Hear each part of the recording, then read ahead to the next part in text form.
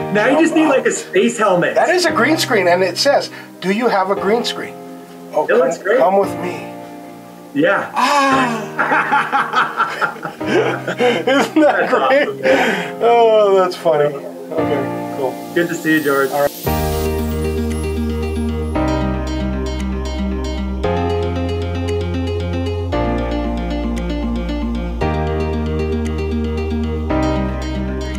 Yeah, great to see you.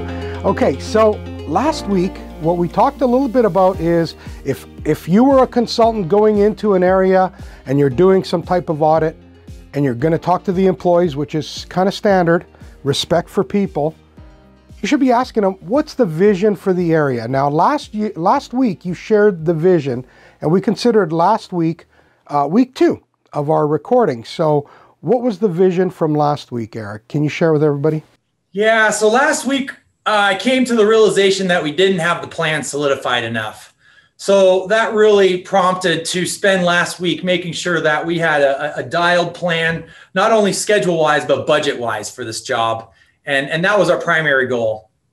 Awesome. So, on time and on budget, it's kind of like a true north.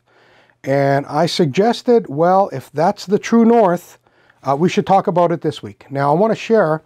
I brought my uh, Japanese sensei, and he's got a book. Uh, here's his book. Um, it is My Leadership, The China Years by Ritsu Shingo. And I think you can get that from, from the Shingo Institute. And uh, we brought Shingo to Santorini, Greece to do a leadership summit. And when we did that, I asked Shingo to come to Santo Wines and do a Gemba walk with me. So that was pretty interesting because his Gemba walk is not so normal. Okay, number one, he says, What is the plant we're going to see? And I said, It's a winery. And I said, Okay, what do you think's the most important? He says. And I say, Well, I think quality is probably the most important for a winery. In the production area, you got to think about quality. She says, You're right. Okay. So we walk through the area and he asks, Think about the people. Uh, what are they doing? And think about the flow of the product. How is that working? Think about the machines and how are they doing? And what he did was he he just he had like five things to think about, including the leadership. Are how are they engaging with the people doing the work? And he he he asked the plant manager, "Can I go behind the line, walk up and see where the corks are going in and how they get dispensed and they get put in the bottle?" And so he was making sure there was no dust.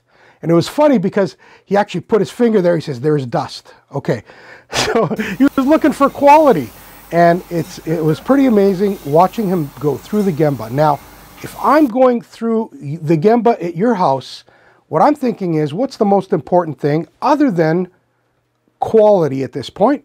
And you're saying uh, on time and on budget. Okay, can you show us what that means? How are you going to track on time and on budget? Let me show you, George. I'll be right back.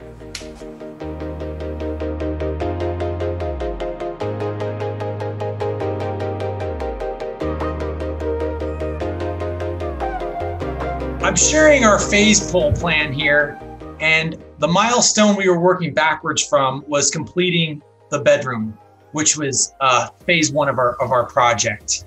Um, some of the things to think about were phasing the partition wall between a, a hallway and the bedroom. When do we want to open that up uh, and, and expose the rest of the house to the construction um, as one of our drivers for this space. And then also the window.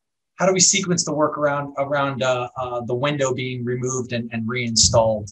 So um, we are uh, finishing up with, with our flooring and uh, MEP trim. Uh, the predecessor to that is paint and obviously the drywall and all of the framing prior to that. All right. So that was the schedule and the budget. That was excellent. Thank you. Now, the next question is for you, Eric, is uh, what did you do last week and what did you learn? And remembering that learning is nothing more than a gap between what you planned on doing and what you thought was going to happen versus what actually happened. So, where were the gaps this past week, week two? I got to say, my biggest plan was with my phase pull and and working out my weekly work plan. Um, I assumed that all four phases were going to be easy for me to plan, but I hit a couple roadblocks. Um, one of them was my cabinets and the countertop. And to better understand what that was going to take for my plan, I've got an appointment next week with uh, a cabinet d- designer to help me do some layouts. So I, I had some challenges phasing out my work.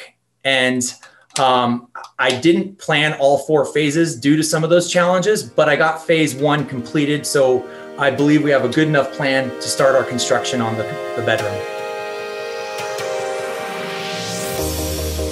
So, this is the coaches Coach with George Trachilis and and Eric Lusis. see you guys next time. Have a good day.